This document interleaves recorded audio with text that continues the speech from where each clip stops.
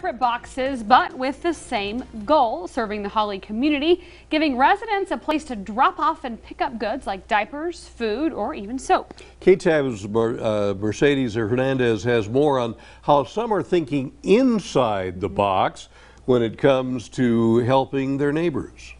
Um, I started mine on January 18th of 2017.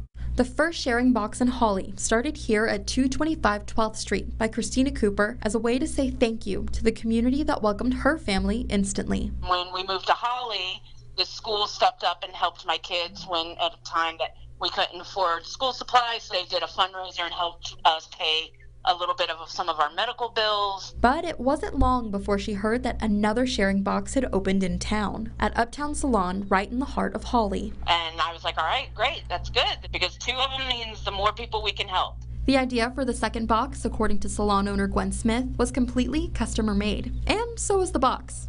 Some of my customers said it'd be really neat if we had one downtown here. So I said, okay, let's just put one out front.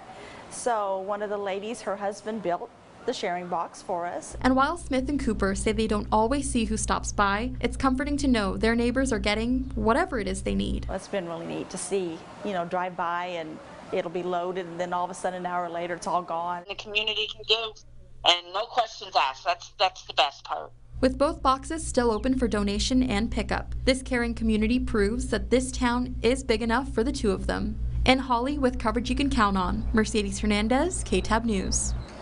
All right, thank you, Mercedes. Christina Cooper, who first placed the sharing box in front of her house on 12th Street, says she's collecting items now for lunches that will be given to children that might ha not have a meal available to them after the summer school lunch program ends, and that's ending this mm -hmm. month.